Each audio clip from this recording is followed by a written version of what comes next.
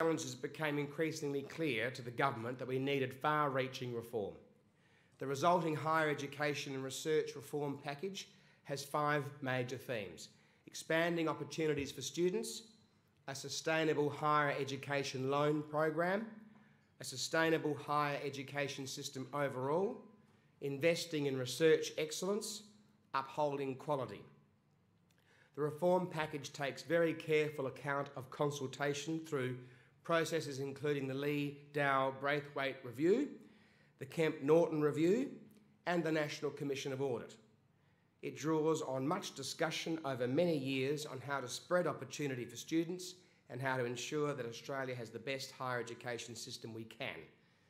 It also draws on the many informal opportunities that I've had to consult with the higher education sector both before and after I became the Minister for Education, as well as the considerable interaction between my department and my office and the higher education sector. As a result of these reforms, for the first time ever, students studying at any registered higher education provider will have their place directly supported by the Australian Government. This includes higher education students at TAFEs and private education colleges. It also includes all accredited higher education diplomas and advanced diplomas, as well as associate degrees and degrees. These reforms will expand options and pathways for students less well prepared for university, while funding a wide range of qualifications that lead straight into jobs.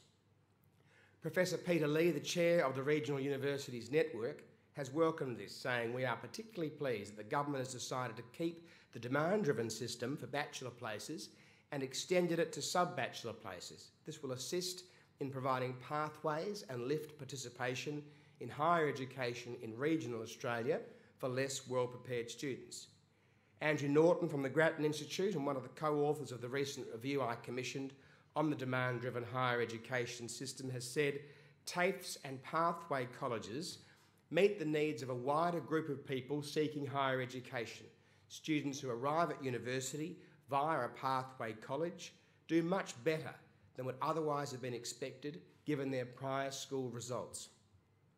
Supporting students into diploma pathway courses will reduce dropout rates for students who enter degree courses before they are ready because places on pathway courses are currently either unavailable or more expensive.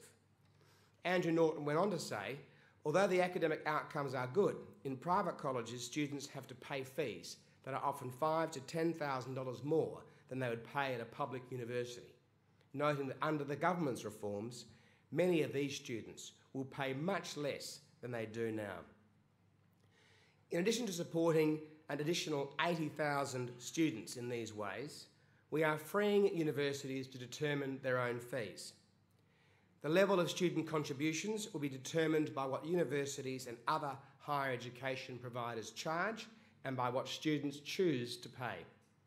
Universities and colleges will have to compete for students and when universities and colleges compete for students, students win. They win through a better range of courses offered to meet their needs, through greater focus on the quality of teaching and other support for students, and on price. We will never have diversity of choices for students and the quality of courses that we need without fee deregulation. Competition between universities and colleges will help to prevent fees from rising excessively. Some fees will go up and some fees will go down. We can be confident that some will go down because for the first time ever, the Commonwealth will be supporting all students in undergraduate courses from higher education diplomas to bachelor degrees. With 80,000 students funded for the first time, some fees must go down. The new system is fair and reasonable because students gain enormous private benefit from their education and it's reasonable that they pay a fair share of the cost. The taxpayer currently pays 100% of the cost of an undergraduate's education up front, and on average, students only ever pay around four out of every $10 of the cost. Students are not required to make any payments up front. They take out a loan from the taxpayer through HELP and only begin to make repayments after they're earning over $50,000 a year. For students, the decision to invest in their own future is the best investment they will ever make. Australian university graduates, on average, earn up to 75% more than those who do not go on to higher education after secondary school. Over their lifetime, graduates may earn around a million dollars more than if they had not gone to university. Higher education is worth it, and students know it. Quoting from Andrew Norton again, historical experience suggests that prospective students from low socioeconomic backgrounds are not generally put off by higher charges if income contingent loans are available. No current undergraduate students will be impacted by changes to student contributions. They'll be grandfathered, supported on the current terms until they cease their current studies or until the end of 2020, whichever is earlier. Our package of reform has a very strong focus on equity. Higher education students will continue to be supported by Australia's world-renowned higher education loan program.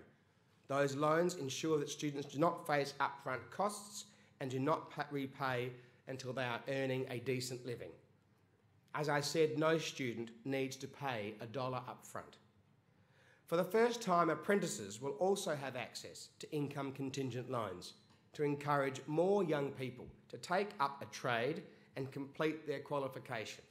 This is through the government's new HECS-style trade support loan program.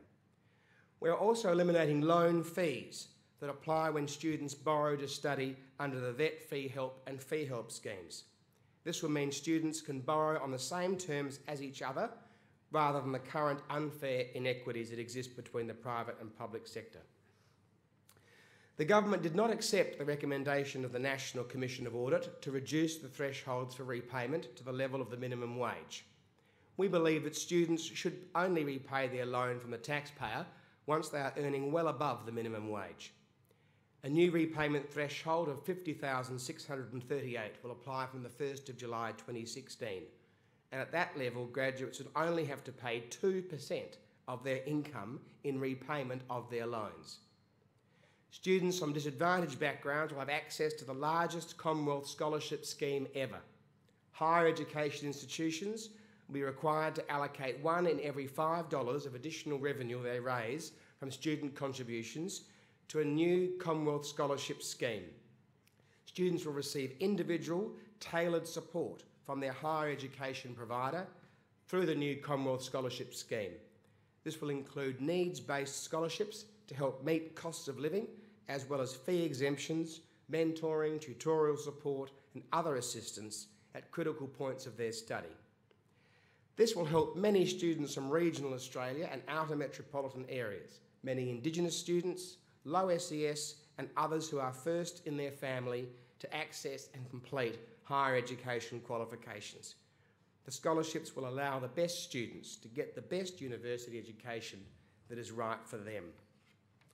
This is in addition to the extra support being provided by extending the demand-driven system to students studying diploma, advanced diploma and associate degree courses so that they can access a pathway to a bachelor degree or a qualification that leads directly to a job. Additionally, the Higher Education Participation Program, HEP, helps disadvantaged students by funding universities to undertake activities that improve access to higher education for people from low socioeconomic status backgrounds. It also supports disadvantaged students to remain in their course and complete their qualification. The new Commonwealth scholarships will provide a very significant boost to resources for these activities. The reforms will allow universities and higher education providers to compete more effectively for students. As a result, students will have more choice and universities and colleges will need to put more effort into meeting the needs of students. They will need to become more innovative and continuously improve the teaching and learning they offer in order to attract students.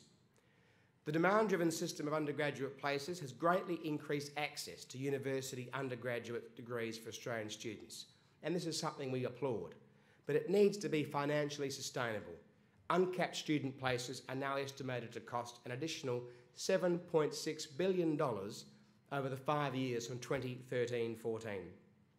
Given our national budget challenges, it's essential that the higher education system remains on a strong and sustainable financial footing. And this means there were some budget measures that resulted in education reductions in funding, ending programs that don't work, or requiring additional contributions.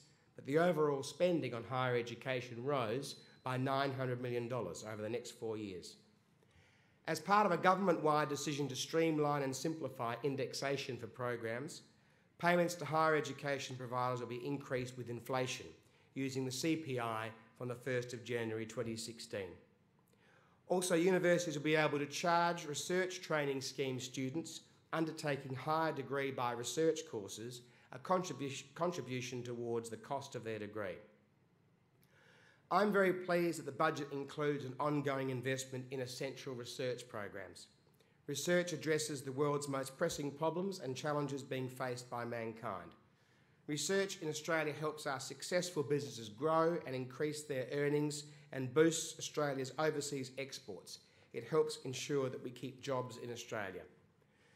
World class research requires high quality facilities and talented researchers. Yet the previous government left us with a situation where there was not a single dollar set aside for the National Collaborative Research Infrastructure Strategy beyond the 30th of June next year.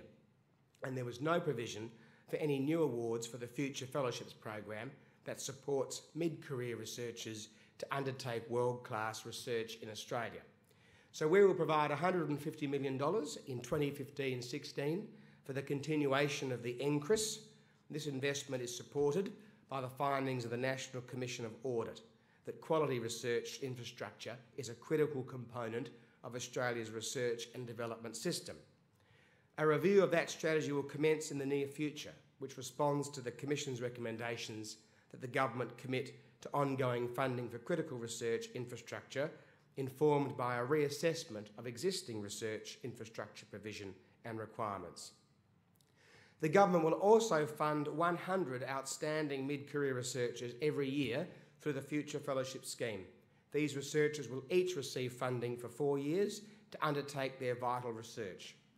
This will reduce the risk of brain drain where our best researchers can leave Australia for jobs overseas and will contribute to maintaining Australia's long standing re reputation for producing world class research. The Future Fellowships program will be an ongoing program, and $140 million has been provided for this over the next four years. The budget also delivers on our election commitments to direct research resources to key national priorities.